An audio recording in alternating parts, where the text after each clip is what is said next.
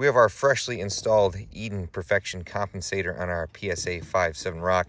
Works on any of your half inch threaded barrels and there's a little set screw on each side. I imagine you can put this on our other half inch threaded 5.7 guns.